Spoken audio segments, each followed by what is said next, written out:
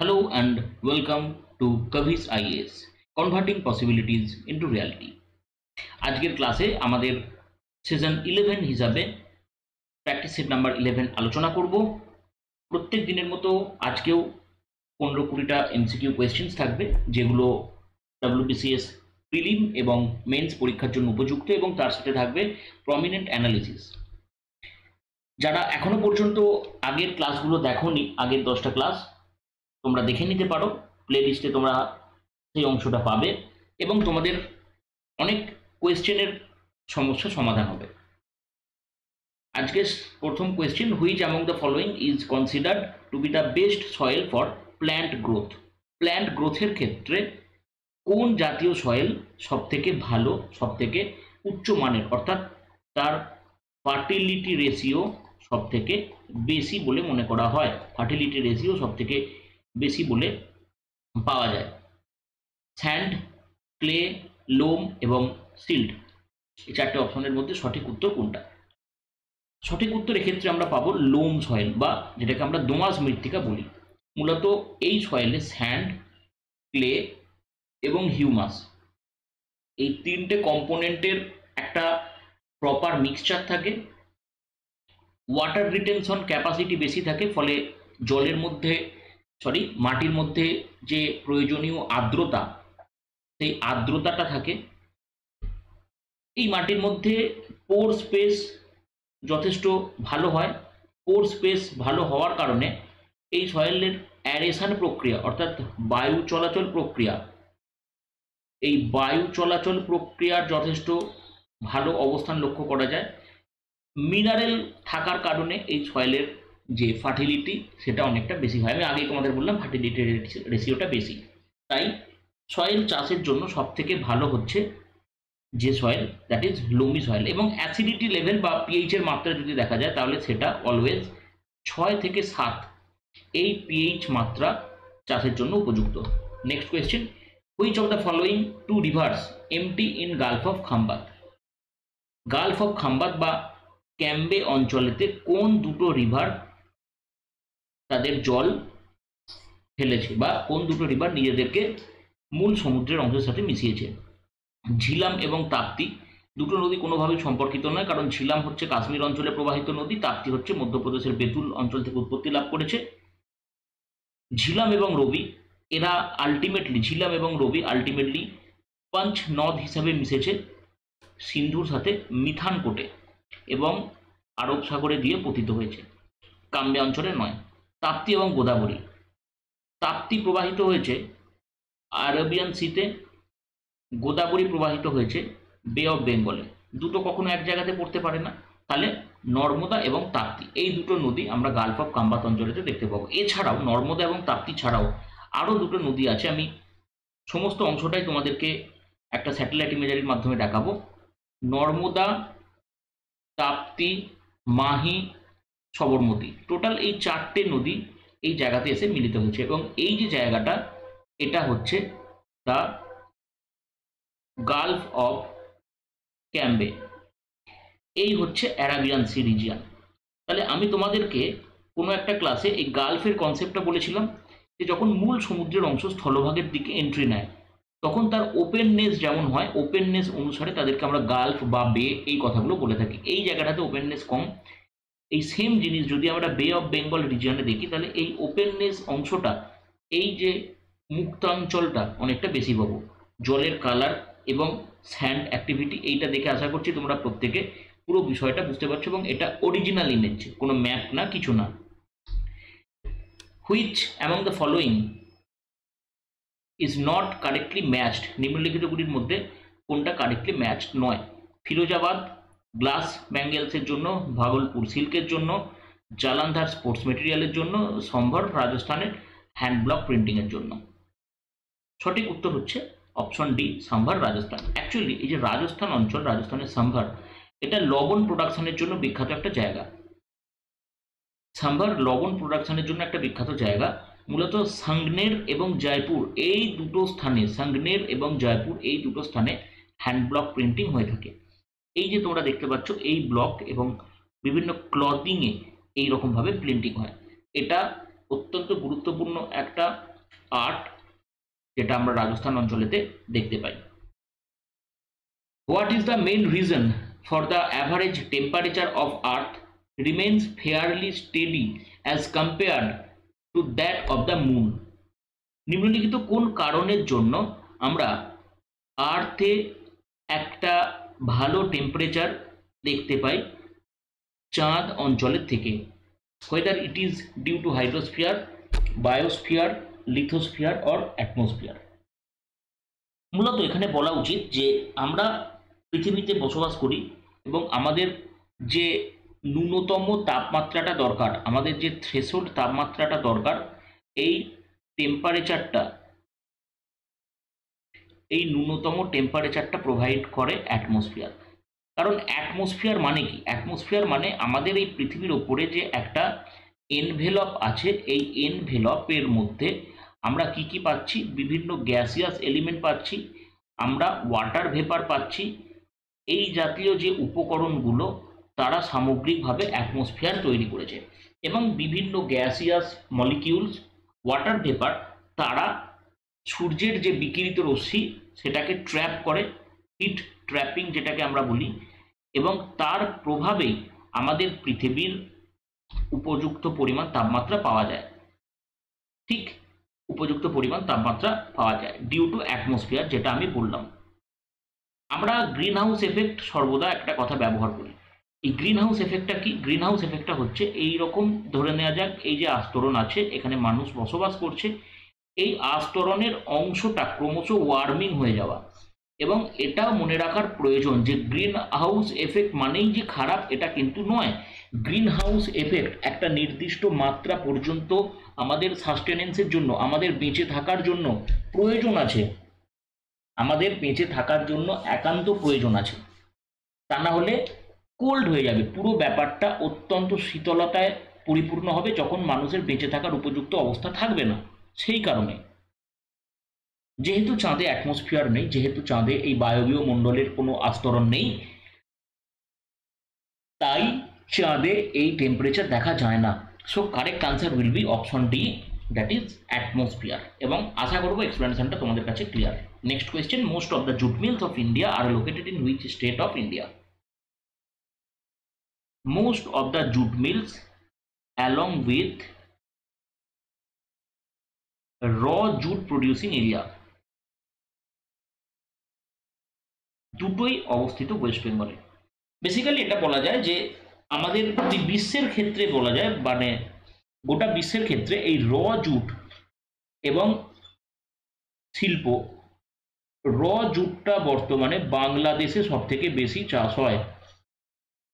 দেশভাগের পর বাংলাদেশ অঞ্চলে সবটা চলে গেছে ম্যাক্সিমামটা আর ইন্ডাস্ট্রিগুলো রয়ে গেছে ইন্ডিয়াতে। তোমরা পশ্চিমবঙ্গের হুগলি নদীর উভয় পার্শ্বে রিসরা ত্রিবেণী, জগদ্দল, ভাটপাড়া, নৈহাটি, টিটাগড়, ব্যারাকপুর, এই জায়গাগুলোতে যদি দেখো, তাহলে প্রচুর পরিমাণে পাট শিল্প দেখতে পাবে।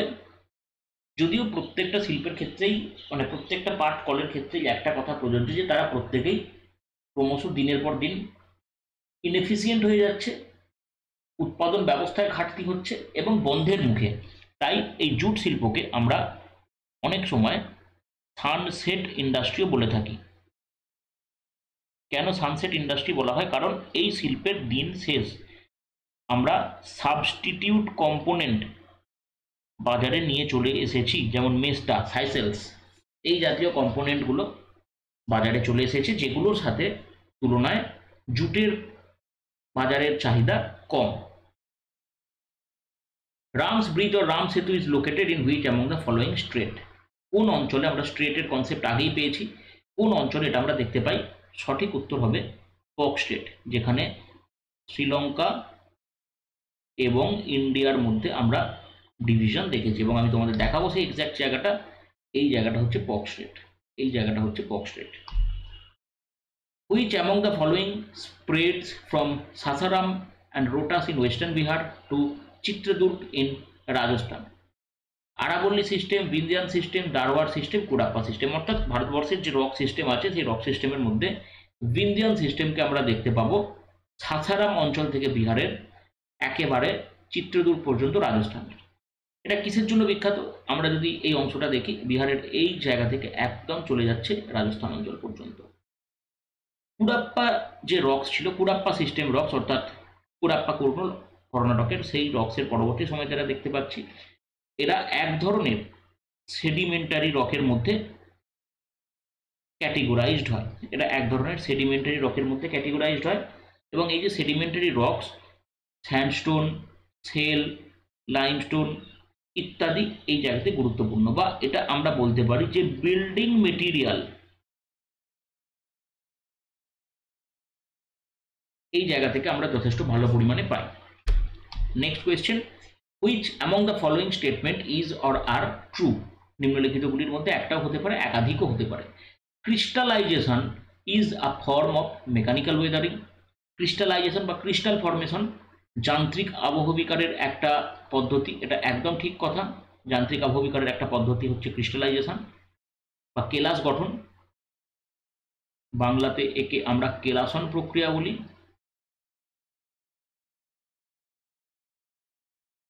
হাইড্রেশন কজেস গ্র্যানুলার ডিসইন্টিগ্রেশন হাইড্রেশনের মাধ্যমে ক্ষুদ্রকণা বিসরণের যে কনসেপ্ট ক্ষুদ্রকণা বিসরণের যে ধারণা, সেটা আমরা পেয়ে থাকি এবং সেটা হয়। That is known as granular disintegration ঠিক কথা?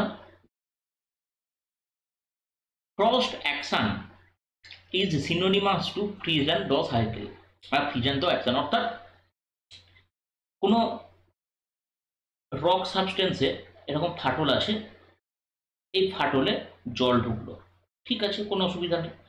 জল ঢুকে যখন শীতকাল হলো, বরফে পরিণত হলো, বরফে পরিণত হলে আয়তনে বাড়বে এবং দুটো সাইডে চাপ দেবে। আবার পরবর্তী সময়তে যখন বরফ বলে জল হয়ে যাবে, এই চাপটা রিলিজ হয়ে যাবে, আবার তখন চাপ রিলিজ হয়ে এরকম অবস্থা হলো। আবার পরবর্তীতে যখন বরফে পরিণত হলো, চাপ এরকমভাবে বাড়তে থাকল। এই যে সিচুয়েশনটা একে বলা হয় ফ্রিজ অ্যান্ড দ্য সাইকেল বা ফ্রিজ অ্যান্ড দ্য অ্যাকশন এটা মূলত আমরা দেখতে পাই বরফের প্রভাবে। এটাও এক ধরনের মেকানিক্যাল ওয়েদারিং যে হয়, এক ধরনের যান্ত্রিক আবহ বিকারের নমুনা।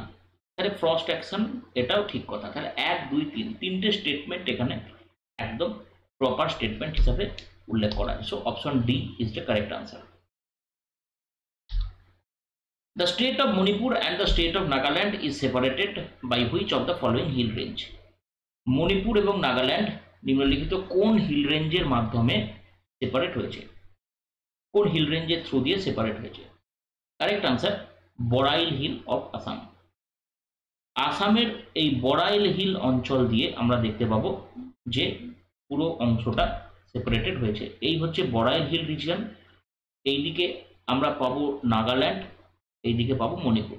মণিপুরের অঞ্চল থেকে জাপো হিল রিজিয়ন থেকে আমরা বরাক নদীর উৎপত্তি দেখতে পাচ্ছি। Next question which among the following district are the part of western Himalayan cold desert region cold desert রিজনের মধ্যে কোন কোন জায়গা আমরা পাই? লাহুল স্পিতি, হিমাচল প্রদেশ, কিন্নৌর হিমাচল প্রদেশ, কার্গিল, লাদাখ লে লাদাখ। এই যে চারটে লোকেশন আছে অল লোকেশন আমরা পাবো ভারতবর্ষের যে শীতল মরুভূমি অঞ্চল তার মধ্যে। লাদাখ, কার্গিল, এদিকে লাহোর, স্পিতি এবং Kinnaur.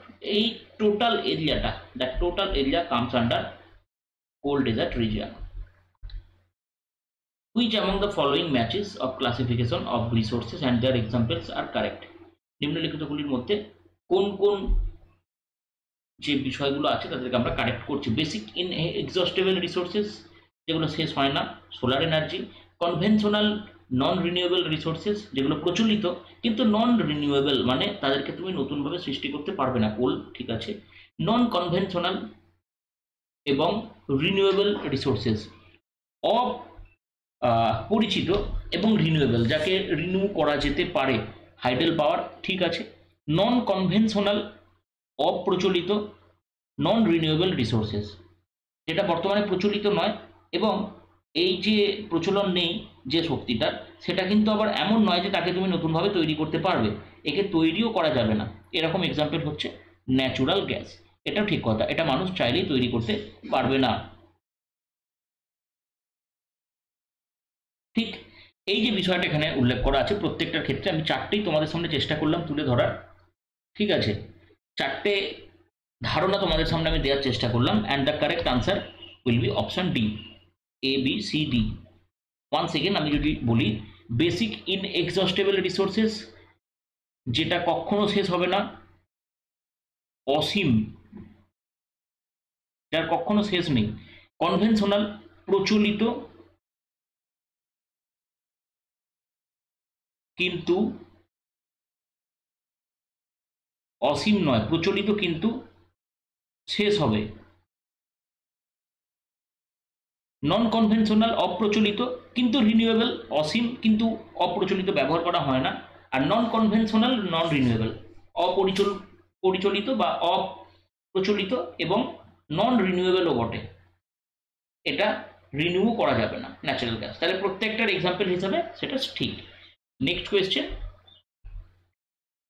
mangrove trees are found in which of the following river estuaries in Goa গোয়ার কোন কোন রিভার এস্টুয়ারিতে আমরা ম্যানগ্রোভটি দেখতে পাবো? অর্থাৎ ম্যানগ্রোভ কোন জায়গাতে আমরা দেখতে পাই?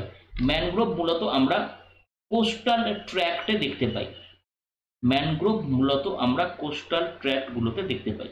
তাহলে গোয়ার যে এস্টুয়ারি আছে এস্টুয়ারি মানে হচ্ছে খাঁড়ি রিজিয়ান যেখানে নদী কি করতে পারেনি? বদ্বীপ তৈরি করতে পারেনি, সেই রকম জায়গা রাইট মান্ডভী জুয়ারি, চোপড়া এবং তেরাকোল।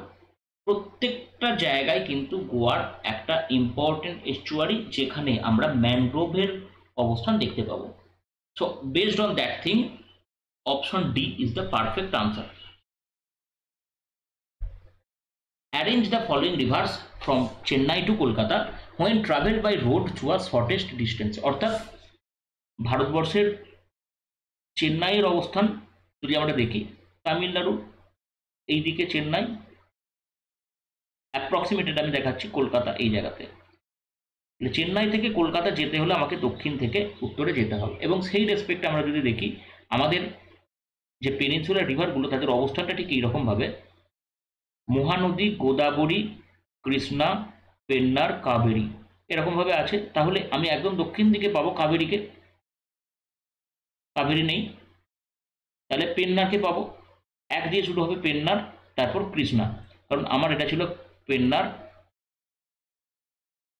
এটা কৃষ্ণা, এটা গোদাবরী, এটা মহানদী। তাহলে পেন্নার, কৃষ্ণা, গোদাবরী, মহানদী। এক, চার, তিন, দুই। এক, চার, তিন, দুই। Godavari, Mahanadi. Option B will be the correct answer এবং ম্যাপেও তোমরা এখানে দেখে নিতে পারো, এই হচ্ছে মহানদী গোদাবরী কৃষ্ণা পেন্নার কাবেরী আমি যাচ্ছি এই রকমভাবে And last question for today's session Which of the following geographical term related to the piece of subcontinental land that is surrounded by water? জল দ্বারা আবৃত এমন একটা স্থান তার নাম কি জিওমরফোলজিক্যালি তার নাম কি that is called as island বা একে বলা হয় দ্বীপ দ্বীপ অঞ্চল। যেমন আমরা উদাহরণ হিসাবে বলতে পারি, আন্দামান অ্যান্ড নিকোবর আইল্যান্ড। আন্দামান এবং Nicobar island is the prominent answer so that was the question set for today session thank you once again have a good day যদি কোনো প্রবলেম হয়, যদি কোনো ডিমান্ড থাকে ডেফিনেটলি তোমরা কমেন্ট সেকশনে জানাবে। অফিস আইএস ডাব্লিউবিসিএস এর পক্ষ থেকে সেই বিষয়ে যথেষ্ট গুরুত্ব সহকারে দেখা হবে। Thank you